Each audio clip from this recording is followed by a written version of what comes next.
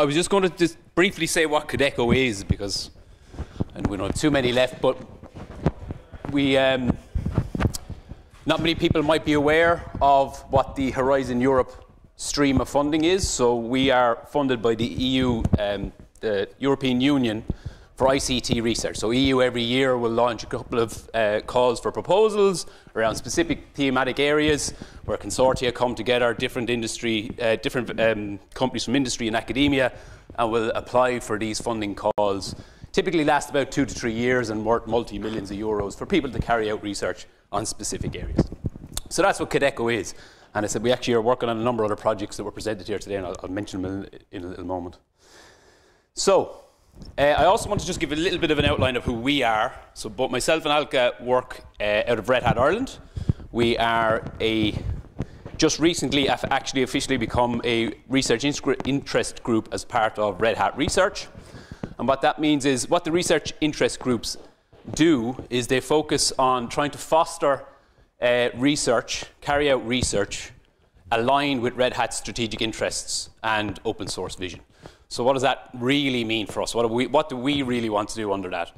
What we want to do is take Red Hat projects or the upstreams of Red Hat projects, problems maybe are known issues or known areas we want to focus on in those projects, products, bring them into the EU fund, into the EU research, carry out research on those, carry out novel research, and then hopefully take the results and bring them back into our upstream projects and then back into our products. So it's that sort of a cycle where we we take our problems, we bring them into the, into the European Union funding model, we carry out research, and we bring them back, and actually it benefits everybody.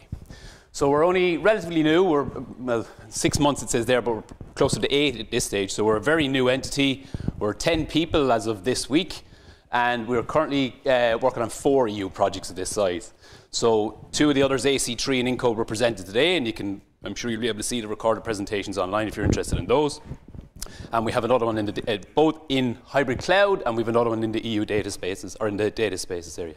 Just to say, as a bit of a plug, if anyone is interested in any of the topics we're talking about here today, we're very open to collaboration. We're always interested to talk to people who are working in this space and have expertise in this space to help, uh, to help bring us along. The areas of focus that we're looking at are hybrid cloud, multi-cloud, IoT and edge, and like everybody else in the world, AI. In particular, there's another big AI funding call coming later in this year that we'll be, we'll be focusing on. Okay, very quickly, what we'll discuss today, I'm going to give you an overview of Codeco. We'll talk about the, some specific use cases that we're looking at within the EU project. We'll talk about the architecture. We'll dive a little bit more into the key components of that architecture and where Red Hat is involved. We'll talk a little bit about what where the current state of the work is and what's next steps. We're about one and a half years into a three-year program. At this point, actually, I just want to call out, as you'll see in a second, it's a fairly large consortium. Those people are bringing areas of expertise they've been working on for years.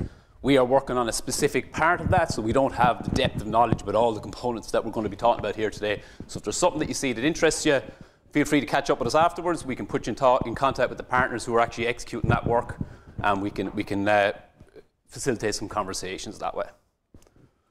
Okay, so this is just the consortium. As you can see, there's some pretty big names there. Uh, we have our from across academia and industry, we have our colleagues in IBM, Eclipse, Siemens, we have Atos, Fortiss. So a fairly uh, list of very fairly well-known names within academia and within um, within industry.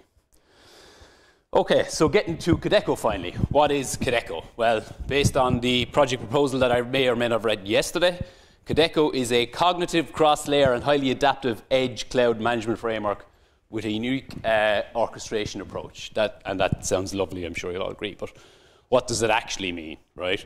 So I suppose the core aim of Codeco is to try and um, is to try and place or to try and manage and deploy workloads across a cloud edge infrastructure in an optimal way, right? So the key phrase there is optimal, right?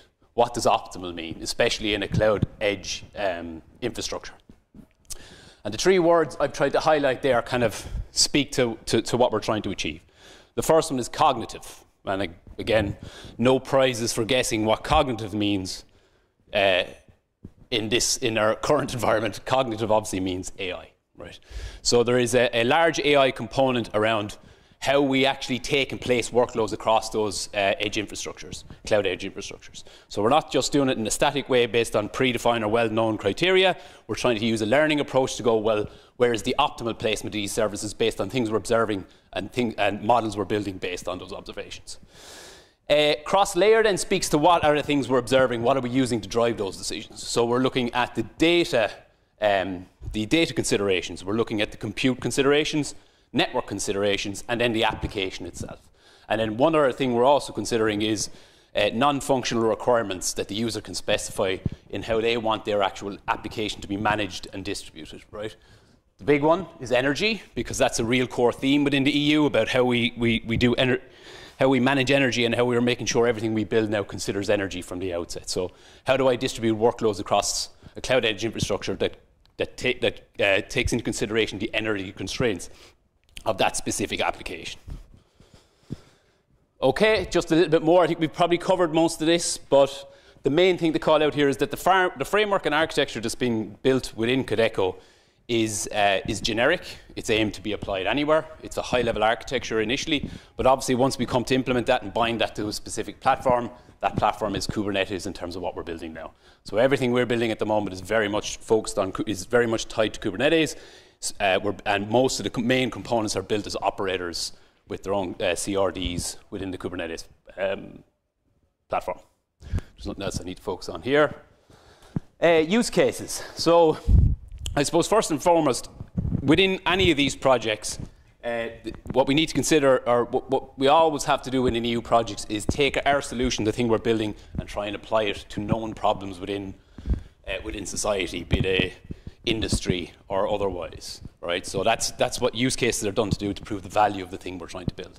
So we're looking at a number of them across uh, six, six of them to, across different uh, thematic areas, all really look, focusing on things like, you know, remote edge devices with unreliable connectivity, low latency, real-time applications where we may be monitoring large volumes of data and need to manage that uh, and process large volumes of data, uh, the nodes themselves might have variable, variable processing capabilities, uh, and the applications may have various processing capabilities as well.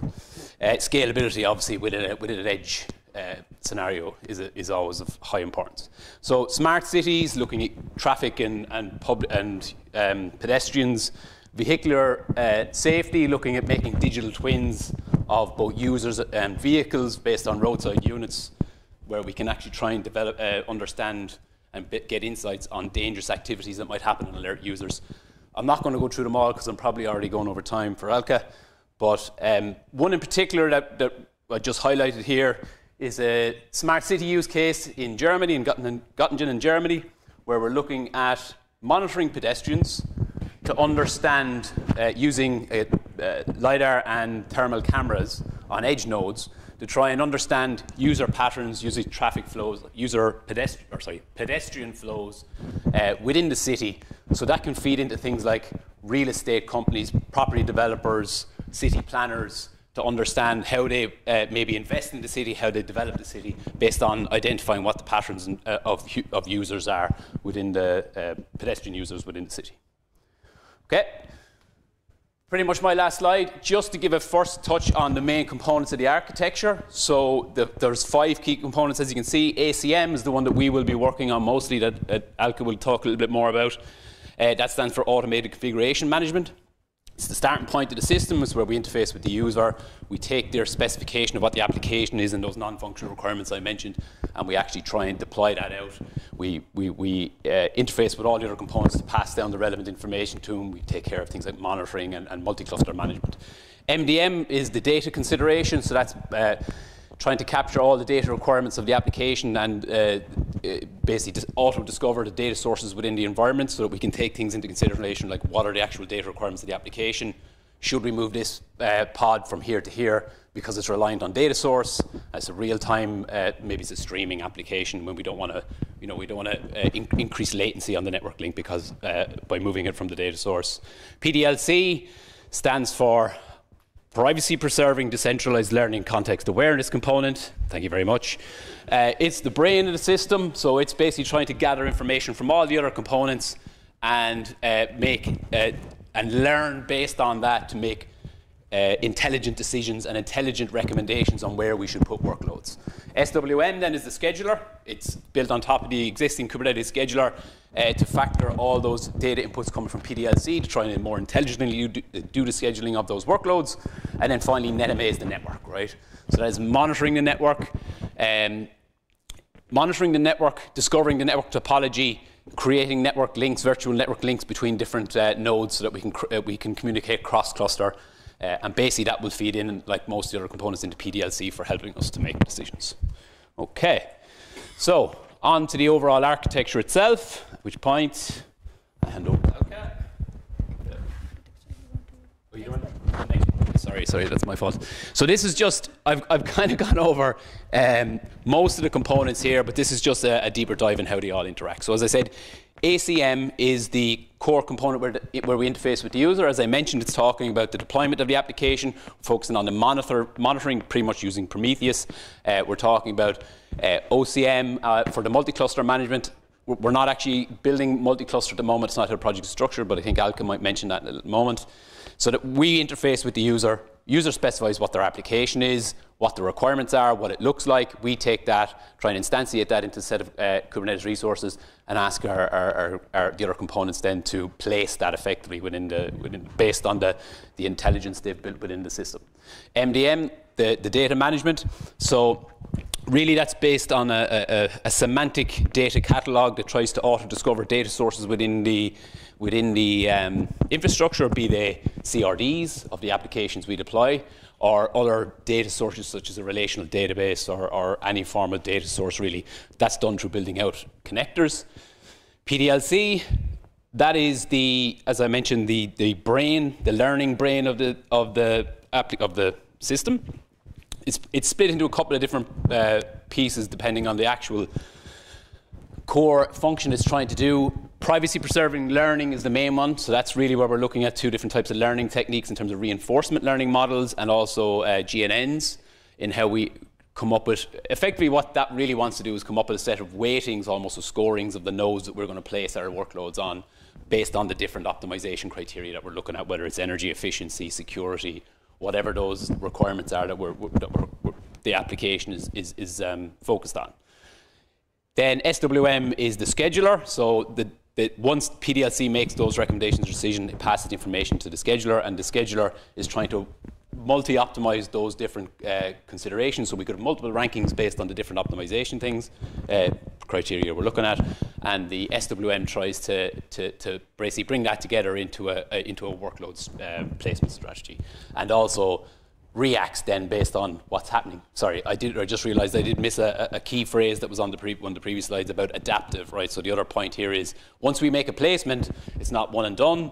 We're also trying to continually learn, remonitor the, the infrastructure, update our models in line with that, and then try and make new placement suggestions based on what's currently happening within, the network, within our infrastructure more specifically. And then NetMA um, as I said, there's a number of parts there. It's using Alto for, for network discovery. It's a software-defined network uh, controller. It's using L2SM for creating virtual links between the different nodes so that we can have actual communication cross-cluster between different, uh, between different pods. And I think that pretty much covers the architecture. And now I think Alka is going to take over for the, and go into the core components in more detail.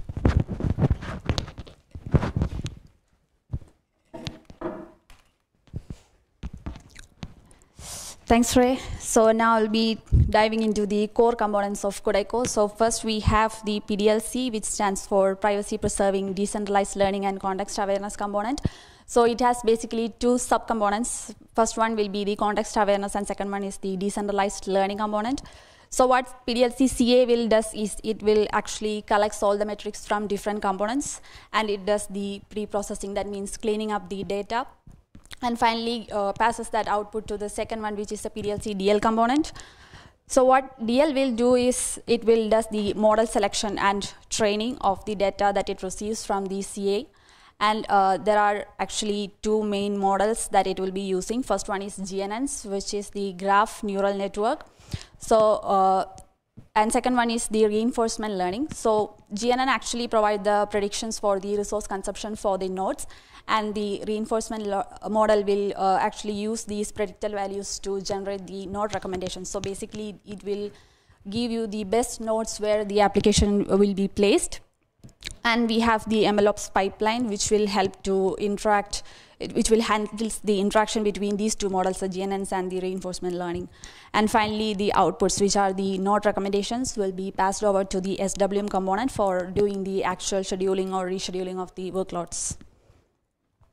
So as an overview, uh, what PDLC does is it collects and analyzes the data and then it does the training and learning based on the AI and it generates the outputs which are basically the node recommendations and it will pass the output back to SWM and SWM is the one who actually uh, takes the decisions uh, that is actually does the scheduling or rescheduling of the workload. And finally it passes the feedback back to PDLC so PDLC can compare the uh, actual actions that SWM takes and uh, what PDLC suggested. So it can it will compare both of them and it will allow the PDLC to improve in the future. So next we have SWM, which is basically the scheduling and workload migration. Uh, so it does two things. The first one will be the initial workload deployment, the monitoring and migration. So SWM decides where each pod should run and on which node inside the cluster. So that will be based on the application model which reflects the user requirements. And the second one will be the efficient placement of applications. So that will be based on the information from PDLC. So once SWM receives information from PDLC, it will place the application so that there will be low latency or uh, there will be low energy consumption and it will actually achieve all the QoS requirements from the user. So basically it provides a match between the application requirements and the available resources. So the four main functionality of SWM will be the initial placement of workloads, as we discussed in the previous slide, and then the dynamic placement of app workloads. That basically means SWM will reschedule the applications whenever there is a change in the conditions. So by conditions, I mean, for example, whenever there is uh, new components or new applications are added, or whenever there are uh, applications that are removed or changed, or there are changes in the infrastructure or the user requirements. So a rescheduling will take place. And uh, the third one will be the app workload deployment and redeployment. That means the workloads are actually executed on the selected nodes, and SWM will take care if there is any failure that occurs. And finally, the app workload migration. That means moving a workload that is currently running on a compute node to another compute node, and SWM will take care of that. That, so that's all about the SWM. And next component is MDM, which stands for metadata management. So all it does is the data orchestration. That means it collects the data from different components and uh, it uses that metadata. So what metadata does is it provides a complete view of the data and uh, the various characteristics of the data. That means uh, where is data stored, how it is structured. So basically the schema, where it is uh, originated, how it is classified and protected, and so on. And next we have NetMA, which stands for Network Management and Adaptation. So it automates the network resource management. It does the network monitoring, um, basically collecting all the metrics that is related to the networking. And it does the uh, performance management, network performance management. So that, that will be done on demand uh, that means based on external triggers or uh, based on the user request.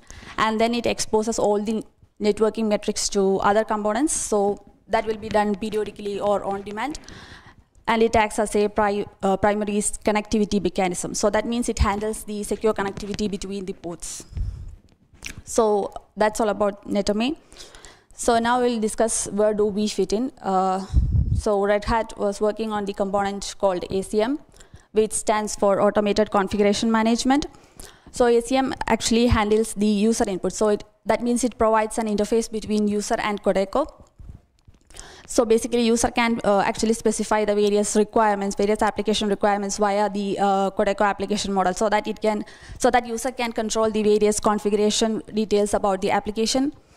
And uh, second one is Codeco automated configuration. So that means uh, whenever ACM receives a user request for the application deployment, it activates all the Codeco components and then it configures them by passing the user data. So this will be done by using the CRDs or CRs and the Codeco operators. So basically CRDs means uh, custom resource definitions. Uh, they are basically definitions for the custom resources. And then we have operators, which are basically the extensions of uh, Kubernetes. So these operators will be always be monitoring the custom resources for any changes and react accordingly. So we have the cluster and federated cluster configuration. That means basically handling the Kubernetes, Kubernetes infrastructure based on the instructions that is received uh, by the ACM. And finally, we have secure monitoring framework. And uh, this is all about handling the metrics across the Codeco platform. And this will be uh, based on a tool called Prometheus. So what Prometheus is, it's an open source monitoring solution. And what it does is uh, it collects the metrics from different targets periodically. Uh, it evaluates the rule expressions, it displays the results, and it triggers alerts based on specific conditions. Next, we have the uh, Codeco installation. So ACM operator is the only operator that is exposed towards the users. So when user installs the ACM operator, it will trigger the installation of the entire Codeco platform. So currently we have a temporary solution based on the CLI, where we will uh, just use a single command to install the entire platform. And uh, in the future, we will use the OLM, which stands for Operator Lifecycle Management. So that will be integrated so that it enables us to install the platform as a single Codeco operator. And what was done so far? So we have built and deployed the Kubernetes operators by using the Go programming language. We have implemented the unified deployment as we discussed before. Uh, we have the monitoring framework uh, working for a single cluster, and we have defined the detailed app model, which we'll be discussing in the next slides. Uh, and we have created a CRD based on the model, and we have implemented the interface to other components so that uh, components can actually communicate with each other, like data can seamlessly flow between the components. So now what is an application model? So it's the way in which user communicates with Codeco. So there will be a dashboard GUI from uh, through which the user can actually specify the various requirements. So there will be specific YAML files, which is a CRD, which will be created from the user requirements. So there are basically two sections in the application model. First one is a spec section, and then there is the status section. The spec section actually uh, refers to the input to the ACM that is provided by the user, and the status is the output from ACM that is provided to the user. So spec actually uh, represents the desired state of the application. And uh, in the status, we have all the metrics information about the application status. For example, the runtime failures. That means the information about the uh, resource usage. For example, the average CPU usage, memory usage, or the energy consumption. And also, we have the application configuration details or deployment details as well. So this is like a sample UML model, sorry, UML diagram for the application model. So as you can see, the application is the core entity of the model and we have the spec and status section. So in the spec section, we have specific parameters for the application and then the microservices because an application can consist of multiple microservices. And then we have specific parameters for the channels. Channels uh, are the ways through which microservices communicate with each other. And then in the spec section, we have three kinds of metrics. We have the app metrics, which is at the application level, and we have the service metrics at the service level and we have the node metrics at the node level. So for example, if you look at the CPU usage, we have the average app CPU at the app metrics level, and we have the average service CPU and average node CPU as well, respectively. So now we will discuss how data is flowing between the different components, uh, how they are integrated. So first, uh, first step will be the user specifying the requirements to the application model or CR, and that will uh, respectively trigger the ACM operator. So ACM operator will maps out all the user parameters to other components CR. So whenever there is a change in the custom resource, then that will trigger the respective operators of the components. And the further processing will be done by the components based on their functionality. So that depends on the individual components. So for example, if ACM is passing some data to the SWM, then SWM will deploy the application because the SWM operator will be triggered by these changes in the CR, and finally it will schedule the pods in the cluster. So for demonstration, first we have the user who specifies the application configuration details to the CR YAML file, which represents the application model, and this will trigger the ACM operator and ACM operator, which copies this data to the corresponding CRs, will trigger the corresponding components operators.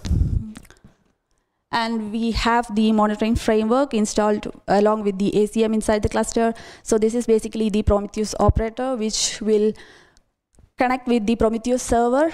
And Prometheus is like a data store for all the metrics, and these metrics will be pushed back to the status section of the application model. So that user will get a, an overall view of the application or how application is performing inside the cluster. So these are the various technologies used in ACM. So first we have the OCM, which stands for Open Cluster Management. So that's a community-driven project, which is the upstream project for Red Hat Advanced Cluster Management. We have the Kubernetes API extensions, which are the CRDs and the operators for Codeco installation. We have Prometheus for monitoring, Ansible for the automated deployment of Codeco, then K3s and Microshift, which are the lighter versions of Kubernetes Hypershift for provisioning of Kubernetes clusters on remote worker So as of now, we have completed the 18 months of Codeco, and we have implemented the single cluster operation of the, of the, of the project.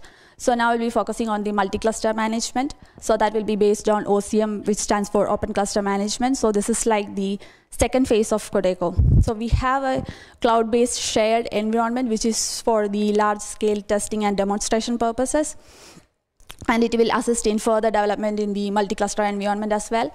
So uh, we will be looking to modify the application model for the multi-cluster, and uh, there will be improvements in the current monitoring in, monitoring framework as well. So that's all. And if you can search for Codeco our project website will pop up, and you can view all the details of the public repository or the coming um, community events as well. So that's it. Thank you.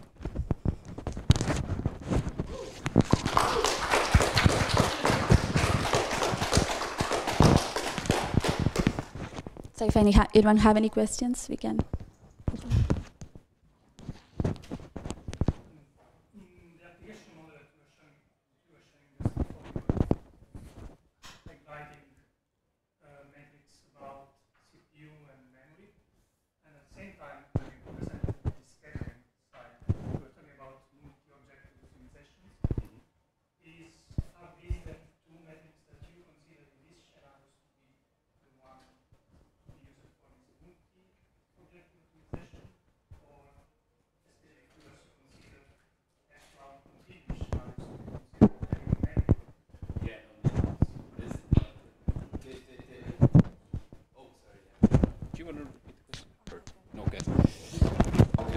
So I think the, the question relates to exactly what parameters we're using in terms of the optimization of the placement um, across. Is it just CPU and memory, or is there more really to it? Yeah, there's more to it. Now, again, just like I called out at the start, we're not actually working on the on the modeling part of this, but for sure the the the solution is aiming to capture as many different types of optimization parameters as we can. So CPU and, and RAM are kind of they're, they're givens really. Like it will be looking at network optimization or sorry network latency, the current network latency of the uh, within the um, infrastructure.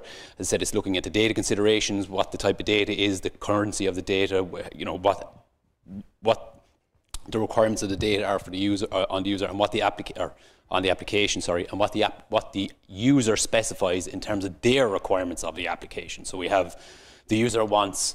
Uh, you can see it here. The user wants, say, has a, a, failure tolerance limit that they want to specify. You know, at the moment, there's simple, there's simple metrics like high, medium, low, for instance, right?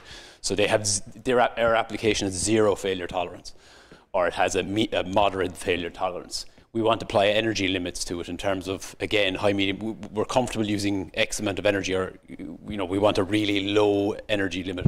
There, there are uh, a range of other ones. Security again it's something that we haven't really delved into yet but this how we can say whether this if this is a high security you know it's a banking application or it's something like that or it's it's a public no PII, no personal information in it, so the security considerations are low.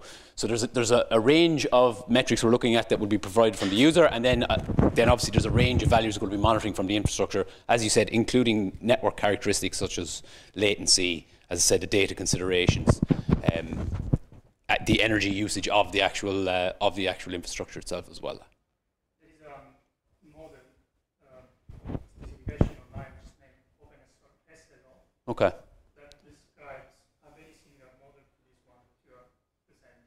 Graphs.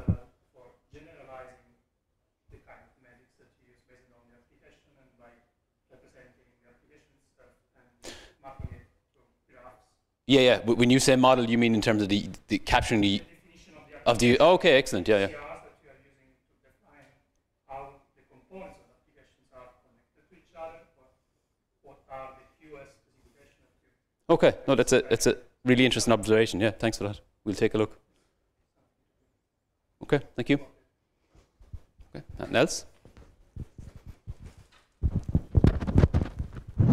Okay, well, thanks very much, everyone.